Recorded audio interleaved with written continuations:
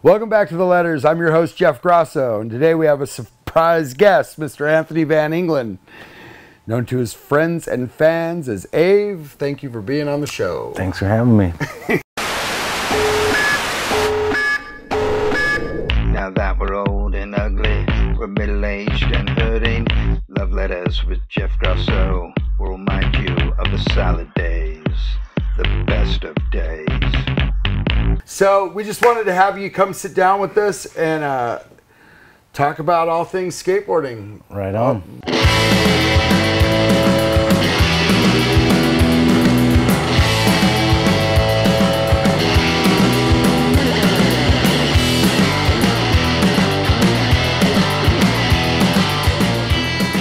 Well, let's kind of start at the beginning. What was the first thing that kind of made you fall in love with it? Um, first thing that made me fall in love with it, I mean, I don't know, I grew up in Southern California, so like, I feel like everybody kind of had a skateboard.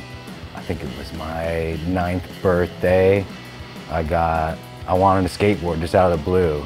And my stepdad was like, what do you want? I'm like, I want a skateboard, like a pro skateboard. And bought uh, a Vision Lee Ralph with uh, red and blue trackers and black bullets.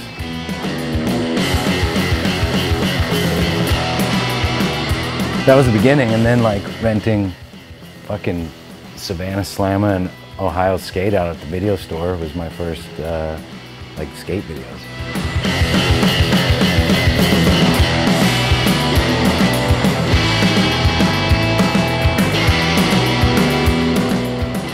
All I remember was Bill Danforth uh, riding off the side of the vert ramp to flat, skating the black flag. That was like, that was when I was like, this is sick. I knew I was looking for something and I found it there. so that was, that was the beginning. That's rad. Yeah. Everybody's got their reasons. Yeah.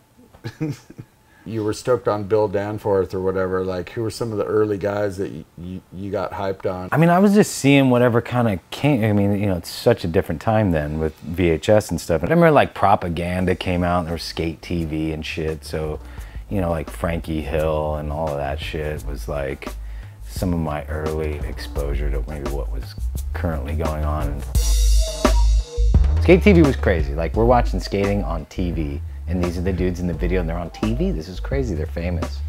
Which is know? basically like an extension of watching propaganda because it was all. It was pretty pal. It was Stacy did It it, was all right? Stacy doing it. With, Yeah. With uh, Jerry Hurtado, rest in peace. I'm Skatemaster Tate, living large, launching lips off the lunge into 5 grinds to the mind, 540 mid twist that you wouldn't believe to grapefruit revert. I was again banned from the show. What's your favorite trick for pool riding? My favorite trick for pool riding, I guess, would have to be um, any type of grind, maybe even a board slide. I love to do grinds though, because you get that loud. My first sponsor was uh, Volcom, and then uh, Channel One kind of after that. Those were my first sponsors. Yeah, Mar- that's Yeah. Marty Jimenez's company.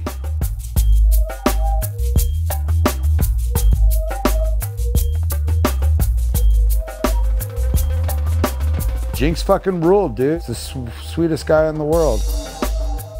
When he starts, I'm flaming out. So, uh, you know, I was already at the bar, like going, fuck it, it's over. I don't know what you're on. You're out of here. I'm out of here anyway. I've had enough. Get out of here.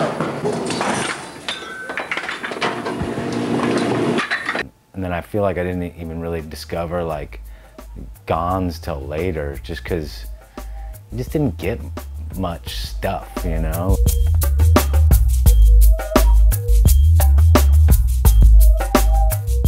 And then what? Plan B was like 92, the questionable video.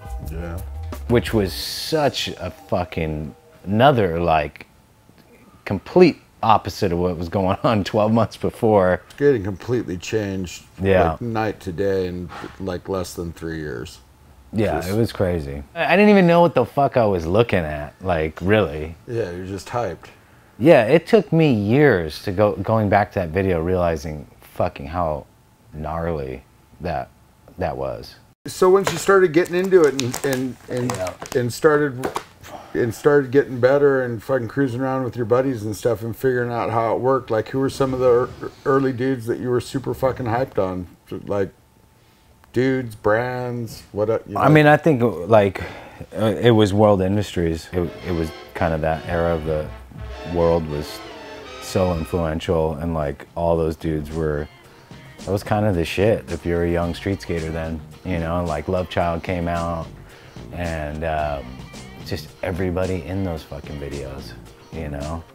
And they were had such little kids on the team too, so I feel like it was kind of relatable to where I was at you know? You got like 13 year old, 14 year old pros and shit. Like it was crazy. Spencer Fujimoto and like Jed Walters. I really like Jed Walters a lot in that video.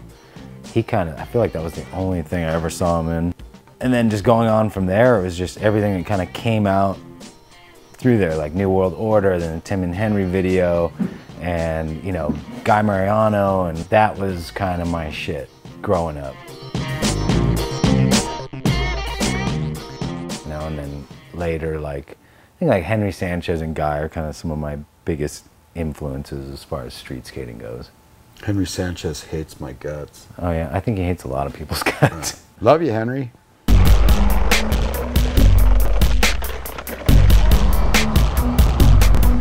I thought he was fucking badass myself. As I got older, this, the, the whole thing was here. It was in LA, you know, and growing up in Orange County, I just felt like, I just need to get there. Like, I want to be there. And it was all those dudes, like Guy, Gabe, Paulo. Paulo Diaz. And I feel like there wasn't a lot of Gabe, or I probably missed some stuff, kind of the Powell stuff, you know? Like I, I saw it, but I didn't, probably didn't, I just didn't understand it then. But like by the time that first chocolate video came out, and his part was incredible in there, I remember tripping on it because I felt like that was the first real showing of his skating.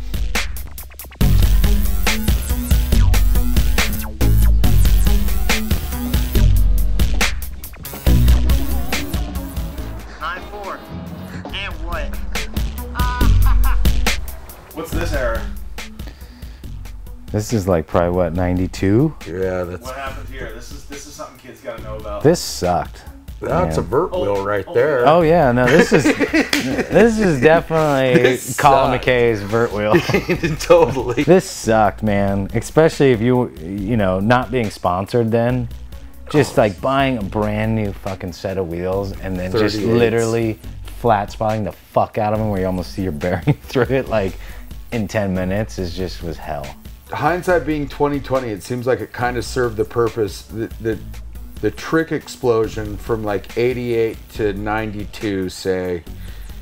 Yeah you know the way skateboarding changed overnight like that and how much stuff got invented was it was the most prolific time in skateboarding.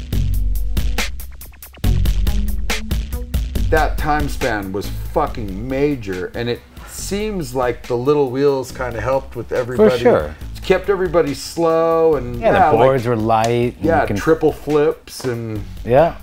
uh, you No, know. it served a purpose, but it fucking sucked to have to deal with it. What was the purpose of the fucking pants? Uh, well originally it was a comfort thing it was to be able to jump and and move around in your clothes Cause it got way, dude, fucking like fuck jeans, bright pink, like cut off. The shit was crazy. because before that everybody was running around in pegged dickies and pegged blue jeans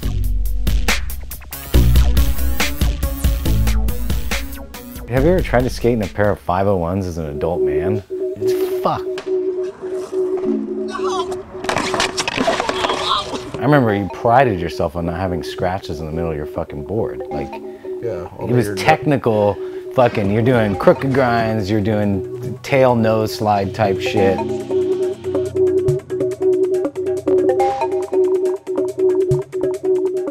Fucking lip slides, Smith grinds, that shit's like a little Hessian, you know what I mean? the whole Hesh versus Fresh thing. That was real.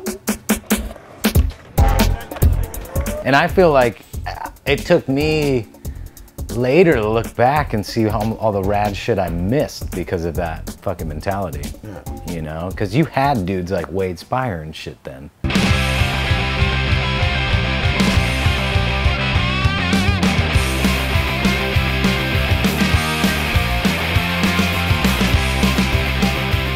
Cardiel doing the gnarliest shit.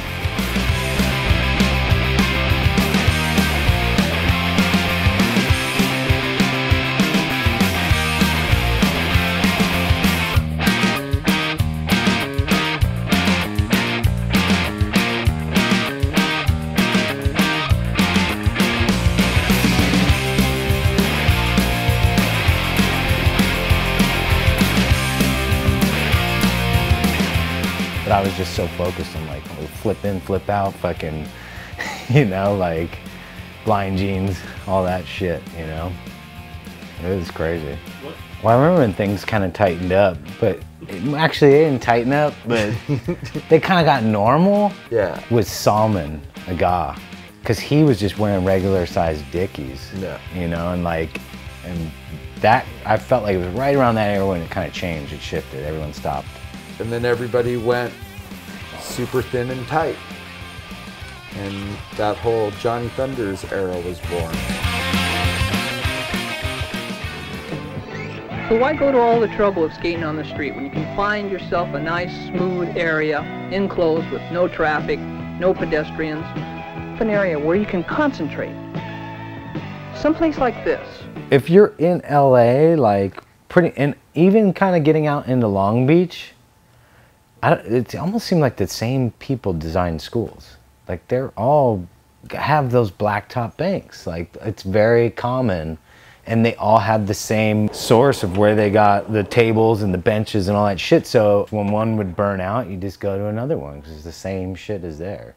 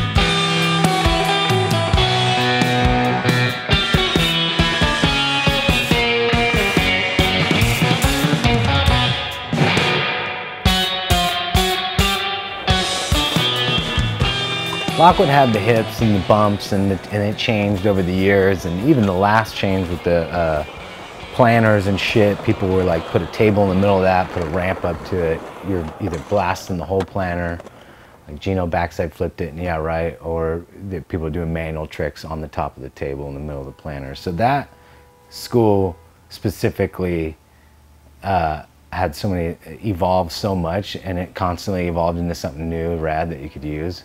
You know, so that's I think what made it so such a fucking landmark spot. Architects and engineers, thank you so much. You fucking rule. Yeah, that's incredible. If you were an architect or an engineer in the fucking 50s,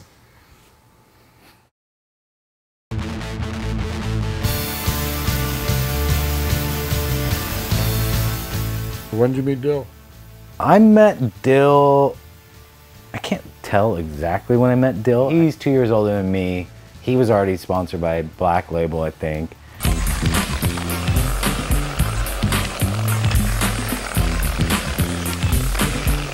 I was probably fuck like 13 or something.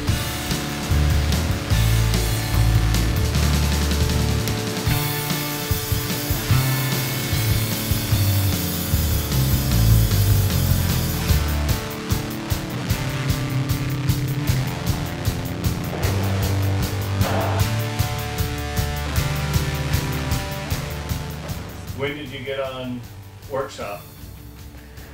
We got on workshop probably like a year, oh, might have been like six months into a year of living up here.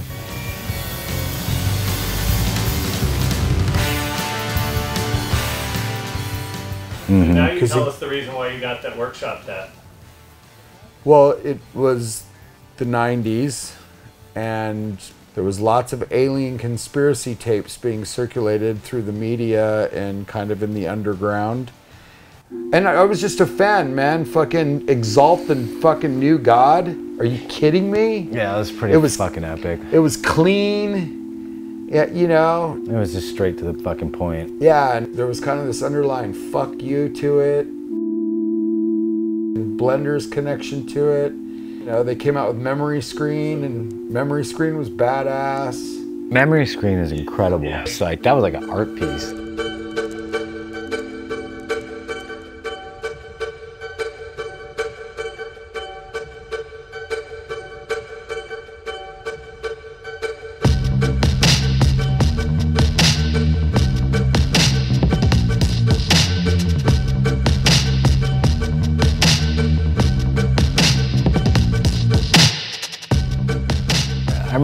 Saw it, I didn't understand. I was like, I'm ready to see some skating. The first 10 minutes is just like an acid trip, like, and I was just like, what the fuck is this? This sucks. Dwayne, Duane Pitre, Lenny Kirk, Yeah, the- Fred Gall, Freddie Gall. Minefield era, Omar and Dylan got on.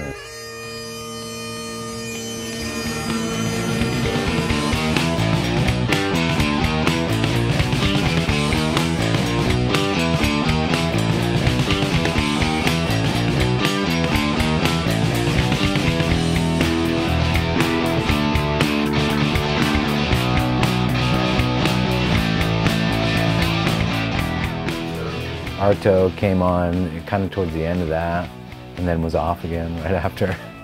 Danny Way rode for us. It was fucking brilliant.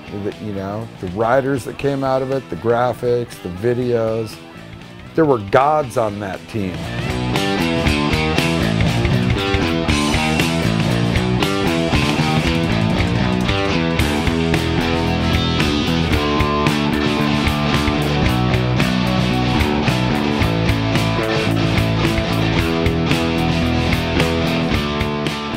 Doing it now, because it's everyone's doing it. Everyone's fucking good. You know what I mean?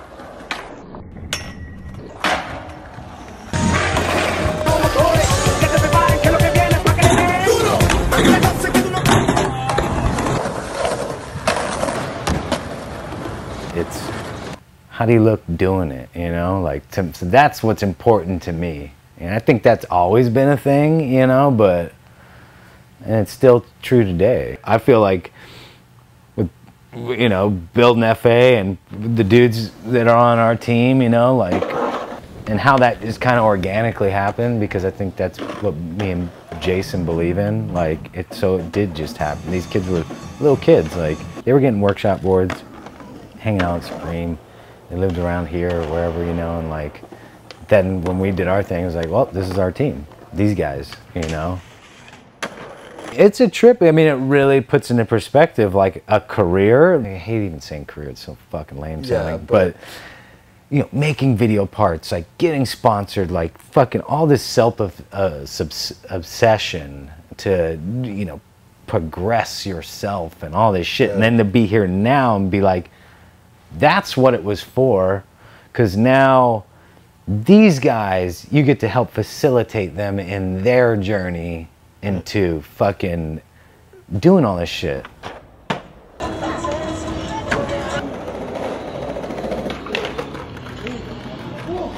For me, it's just come full circle in that sense. Like, Yeah, man, that's fucking awesome. Thanks for sitting down with us, man. fuck this yeah, has been you. awesome. Thanks for having me. Fucking Lee Ralph, turn this shit off. Yep. Your life's out there. Go skateboarding. Thanks for watching. Go. Bye bye. Thanks. Beat it. Go skate. All right.